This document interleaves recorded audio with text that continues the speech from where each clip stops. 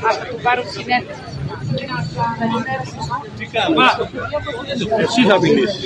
Εσύ.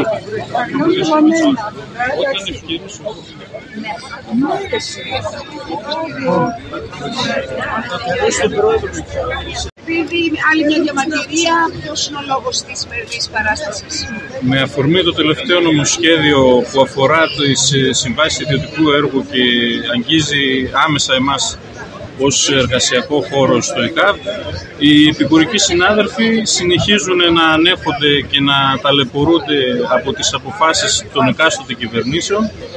Ε, πρόσφατα ενημερωθήκαμε πριν λίγες μέρες ότι ανανεώνεται η σύμβασή τους μόνο για έξι μήνες. Εδώ και χρόνια από την πρώτη μέρα που ήρθαν πριν την, με την αρχή της πανδημίας ζητήσαμε να μπουν στο οργανόγραμμα, να γίνουν προσλήψεις κανονικά και να ενισχυθούν και άλλο ε, οι τομείς και τα παραρτήματα του ΕΚΑΒ. Δυστυχώς η κυβέρνηση έχει άλλη ατζέντα, ε, έχει ένα πλάνο ε, για τις ε, ιδιωτικές μεταφορές, να το πούμε έτσι.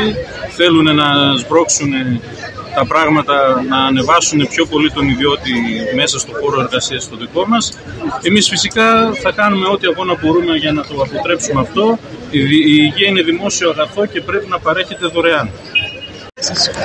Παπαστηριόπουλο Φίλιππος, γραμματέας οργανωτικού τη Πανελλήνιας Ομοσπονδίας Και είστε βλέπουμε και αντιπροσωπεία από την Ημαθία εδώ. Από την Ημαθία έχουμε έρθει συνέντευξη σήμερα σε αυτή τη διαδήλωση. Τα θέματα που αφορούν το Υγείο, όχι μόνο στην Κοζάνη και Βέρεια, σε όλη την Ελλάδα τα θέματα στον χώρο της υγεία είναι τα ίδια.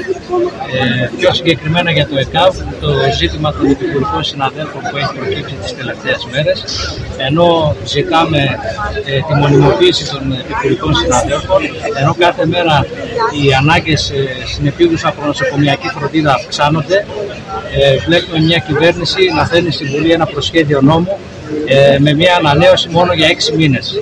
Σαφώς αποκαλύπτεται ότι υπάρχει κρυφή ατζέντα, η κυβέρνηση άλλα, έχει άλλα σχέδια στο πίσω μέρος του μυαλού της και δεν μπορεί να τα κρύψει.